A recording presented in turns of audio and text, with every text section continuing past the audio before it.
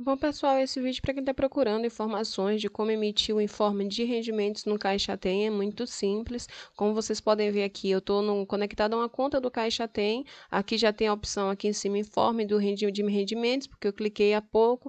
Mas se não aparecer aqui em cima para você, você pode descer um pouquinho o aplicativo, que você vai encontrar essa opção informe de rendimentos aqui nesse menu, tá? Você pode procurar que você vai encontrar.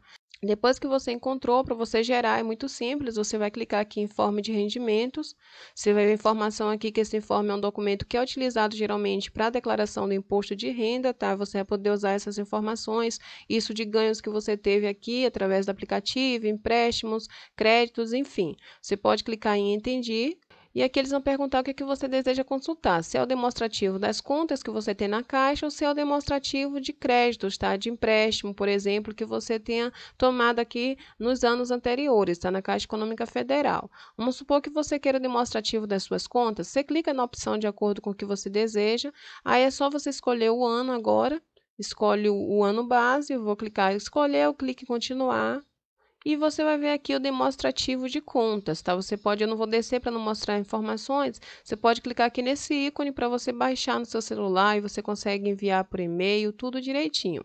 Eu vou voltar aqui, vou voltar novamente e vou clicar aqui agora demonstrativo de créditos. Demonstrativo de créditos, Clicando em demonstrativo de crédito, pessoal, nesse caso aqui para mim, eu não possuo demonstrativo de crédito no momento, tá? Se você possuir, vai aparecer para você. Mas é isso aí, é simples e rápido, você vê o seu informe de rendimentos no Caixa Tem. Espero ter ajudado, se ajudei, não se esquece, me ajuda também, se inscreve no canal.